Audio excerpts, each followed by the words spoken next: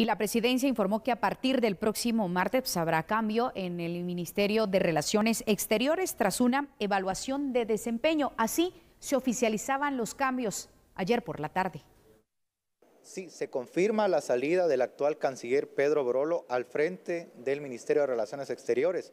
Esto sería a partir del primero de febrero, en donde también el presidente Alejandro Yamatei dará a conocer a la población el, relevo, el nuevo canciller eh, todavía está en etapa de evaluación final. Hay algunos nombres que han se han disparado a través de los medios de comunicación. Lo que de momento les puedo confirmar es que todavía están en evaluación final. Debemos, de recordar que siempre a fin de año todos los funcionarios sometemos nuestro puesto a disposición, sujeto a evaluación por rendimiento y cumplimiento de métricas por parte del presidente de la República.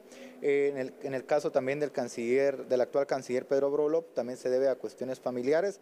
Sin embargo, debemos de recordar que el presidente Alejandro Yamate es un líder asertivo que sabe muy bien eh, maniobrar los cambios eh, del rumbo de nuestro gobierno conforme el país lo va necesitando y en este caso conforme va cambiando las necesidades de la coyuntura internacional. Tras 25 meses al frente del Ministerio de Relaciones Exteriores, Pedro Brolo Vila dejará de ser canciller guatemalteco a partir del próximo 1 de febrero por decisión del presidente Alejandro Yamatei, luego de una evaluación de desempeño, según lo confirmó la Secretaría de Comunicación Social de la Presidencia.